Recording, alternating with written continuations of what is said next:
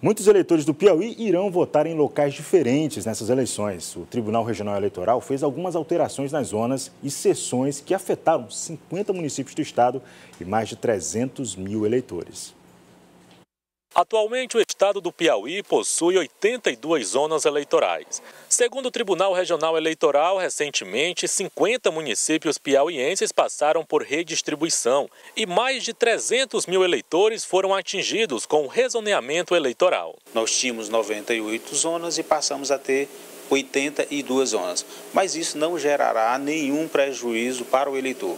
O eleitor continuará votando normalmente provavelmente nos mesmos locais de votação que ele havia votado antes. O que poderá ocorrer é mudança no número da zona eleitoral e mudança no número da sessão eleitoral. Para o pleito deste ano, a Justiça Eleitoral realizou 170 alocações provisórias, que são as mudanças de locais de votação, e mais de mil agregações, que é a situação na qual duas ou mais sessões são reunidas em um único local.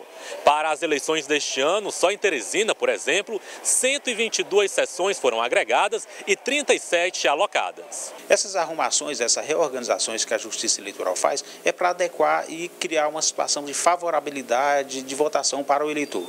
De repente, nós colocamos 10 sessões eleitorais em determinado colégio.